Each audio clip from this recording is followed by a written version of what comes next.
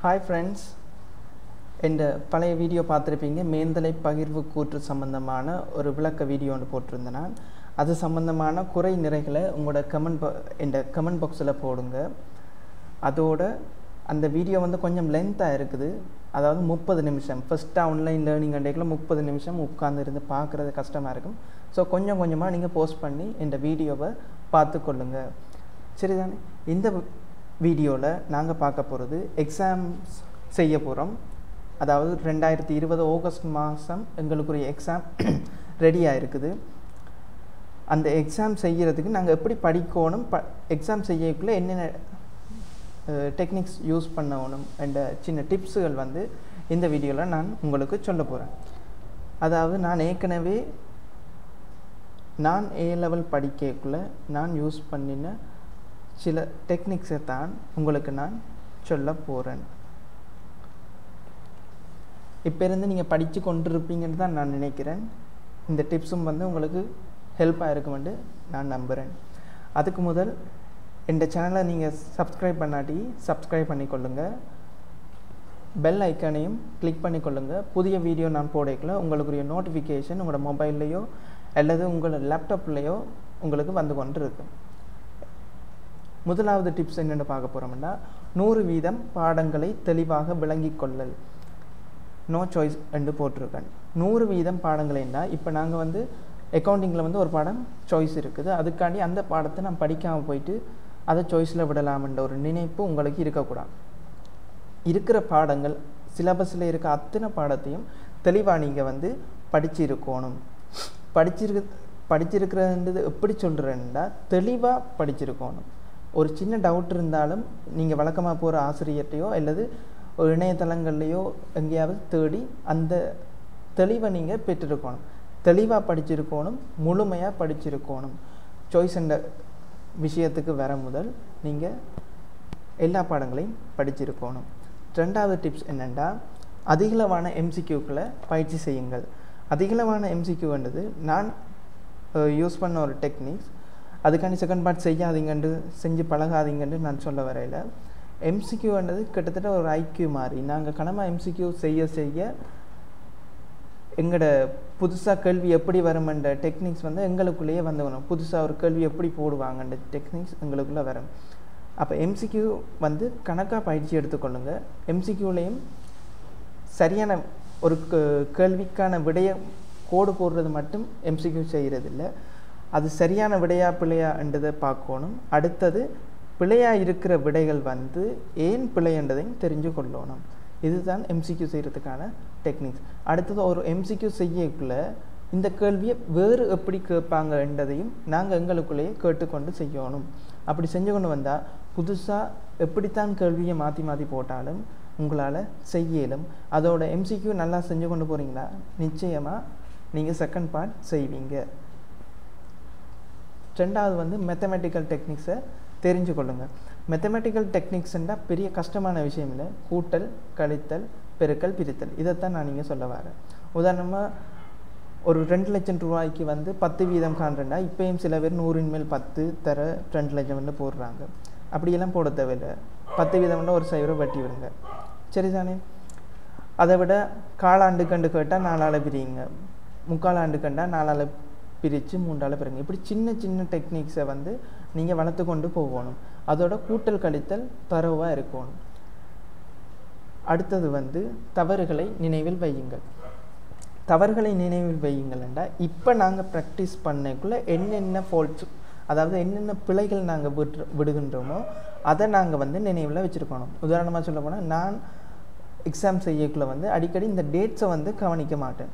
அப்போ நான் என்ன செய்கிறேன்டா ஒரு அதே மாதிரி கேள்வி திருப்பி வரைக்குள்ளே நான் எந்த மனசுக்குள்ளே திருப்பி ஒருக்கா மீட்டு பார்ப்பேன். நான் டேட்ஸில் பிளவிடுறேன்னா இதில் ஒருக்கா செக் ரீசெக் பண்ணி பாருங்கள் பார்க்கணுமென்றதை நான் வந்து எந்த மனசுக்குள்ளே சொல்லிக்கொள்கிறேன் நான் அதே போல் நீங்கள் செய்யக்குள்ளே எண்ணத்தில் பிளவிடுறீங்கன்றதை ஞாபகத்தில் வச்சுருந்தா புதுசாக எப்படி கல்வி வரைக்குள்ளேயும் நீங்கள் பிளவிடுற அந்த பாயிண்ட் வந்து உங்களுக்கு ஞாபகத்துக்கு வரும். அப்போ அந்த இடத்துல மறுபடியும் பிளவிட மாட்டீங்க. அடுத்தது வந்து ஒரு எம்சிக்யூ பார்ட் பண்ண பொறுத்தளவில் ஒரு எம்சிக்யூ எத்தனை நிமிஷத்தில் செஞ்சு செய்யணுமென்று பொதுவாக ஆசிரியர்கள்ட்ட மாணவர்கள் கேட்குற கேட்குறாங்க கேட்குறது இருக்குது. அப்போ நான் இதில் ஒரு சின்ன ஒரு மேத்தமெட்டிக்கல் கல்குலேஷன் வந்து போட்டு பார்த்தேன்னா என்னென்னா நூற்றி இருபது மினிட்ஸ் இப்போ பார்ட் ஒன் வந்து ஐம்பது எம்சிக்கு வரப்போகுது. உண்மையாக இருநூறு மார்க்ஸுக்கு போடுறாங்க. நான் நூறு மார்க்ஸுக்கு கண்டு நூறு மார்க்ஸ் ரெண்டால் பெருக்கி இருநூறுக்கு போட போகிறாங்க செகண்ட் பார்ட்டும் இருநூறு மார்க்ஸுக்கு போட போகிறாங்க அப்போ பார்ட் ஒன்ன்றது ஒரு எம்சிக்கு எத்தனை நிமிஷத்தில் நீங்கள் செஞ்சு பழகணும்டா? நூற்றி இருபது மினிட்ஸ் இருக்குதுண்டா? பத்து நிமிஷம் வந்து உங்களுக்கு திருப்பி செக் பண்ணி பார்க்குறதுக்கு தேவை. அப்போ நூற்றி பத்து நிமிஷம்தான் எம்சிக்யூக்களை நீங்கள் வந்து செய்கிறதுக்கும் உங்களுக்கு கிடைக்க போகிற ஒரு அன்னளவான ஒரு ஏற்ற இறக்கமான ஒரு தொகை ஒரு அளவீடாக இருக்க போகுது.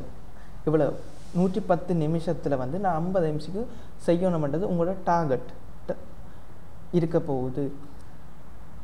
அப்போ ஒரு எம்சிக்யூவை செய்ய போகிறீங்கன்னா நீங்கள் அதுக்கு நீங்கள் செலவழிக்கக்கூடிய ஆகக்கூடின நேரம் வந்து ரெண்டு தசம் ரெண்டு மினிட்ஸாக வரப்போகுது. இது ஒரு அன்னளவான கணக்கு தான் ஆனால் இது கேள்விகளை பொறுத்து மாறி கொள்ளலாம். ஆனால் நீங்கள் கேள்வி செய்யக்குள்ள இதை ஒரு அவரேஜான ஒரு டைமாக வச்சு செஞ்சு பழகினீங்கன்னா உதாரணமாக ஒரு பத்து எம்சிக்கு செய்ய போகிறீங்கன்னா ஆக கூட ஒரு இருபத்தி ரெண்டு நிமிஷத்தில் செய்கிறீங்களான்னு செஞ்சு பழகுங்க. அப்படி செய்ய செய்யத்தான் உங்களுக்கு ப்ராக்டிஸில் இத்தனை எம்சிக்யூ ஐம்பது எம்சிக்யூவும் வந்து கிட்டத்தட்ட ரெண்டு மணி நேரத்துக்குள்ளே நீங்கள் செஞ்சு முடிக்கக்கூடியதாக வரும்.